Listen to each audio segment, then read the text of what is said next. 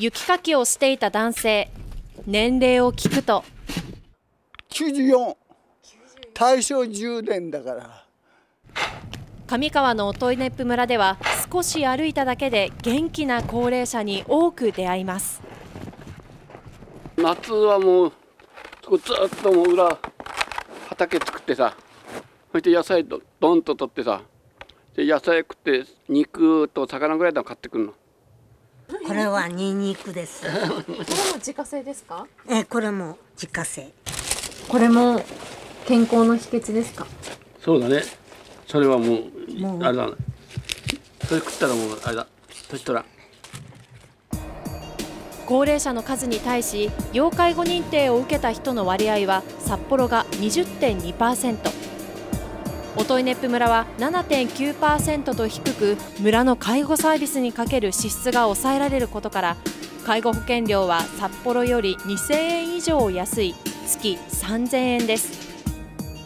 音井ネップ村は道内で介護保険料が一番安い自治体なのです。続きまして美の12番です。サックル地区の老人クラブ月に2回集会を開いていますがこの日は忘年会です。特別に昼からお酒とビンゴゲームで盛り上がっていました。次は大野75番です。道路乾いたら温泉行くの。毎日温泉行くの。介護のその認定とかを受けようかなとか考えたこととかってありますか、うーんと今んとこはえ大体動けるし自分のできるような草作りとかそういうのをやってるわけですよね。クラブの方針はみんなでワイワイ楽しむこと日頃から健康への意識が高い村ですが元気な高齢者が多い背景にはある事情も関係していました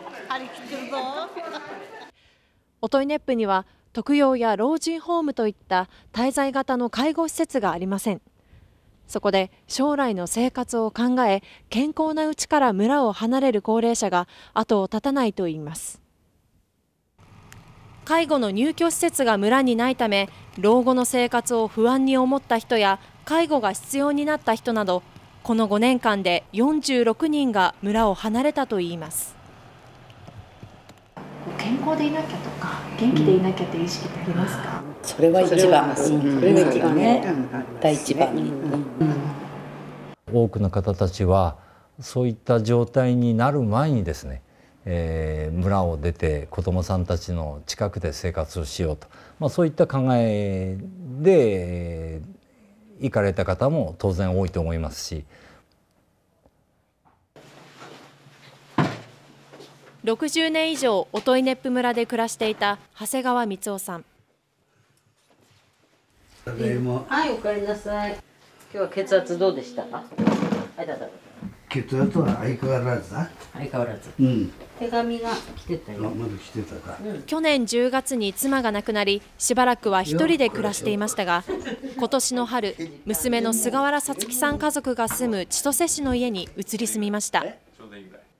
えだから食事をまあ冷凍して送るっていう形のことをやっていたんですけど、やっぱそれもあまり一人の時には食べてない状態。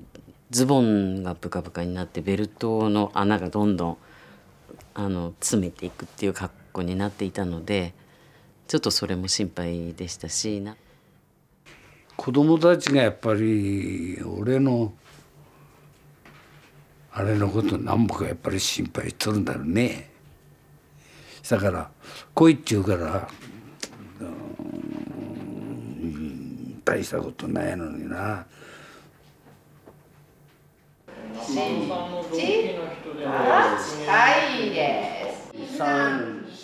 長谷川さんの今の日課は週に2回デイサービスに通い体を動かすことです。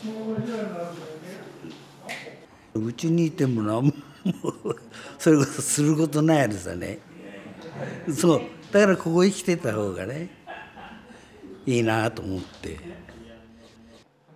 引っ越して半年。今でも音井ネップ村のことを思ってばかりだと言います。やっぱり寂しいね。いやこれで叶えてもおればまた別なんだろうけどさ。いないから余計まだやっぱり音エネップっていうのが頭から離れないわね。音威ネップ村では住民からの要望を受け新たな施設の計画を進めています。現在の診療所やデイサービスの施設につなげる形で公営住宅を建てるというものです。自分で生活しながら介護サービスや食事の提供それに医師の診察も受けられる。いわゆる公営型の左高住です。病院と併設をいたしますので仮に医療が必要になった場合にはすぐ病院側の方に行けると。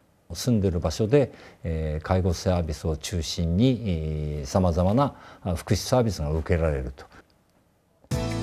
当初は特別養護老人ホームを作る案もありましたが特養に入れる要介護3以上の人は村で8人。入居者が埋まらなければ施設の維持が難しいためこの形を取ることになりました。オープンは2017年度の予定で将来は公営住宅の一部を特養や老人ホームに変更することも検討するということです。ショートステイをあの利用しようと思っても地元にないですから家族がその連れて行かなきゃならないんですね。いろいろなあの今ののサービスを利用できるっていうことは家族の負担も減りますし大変心強いと思います健康への意識が高い住民とサービスの充実を図りたい行政。小さな村の取り組みが進んでいます。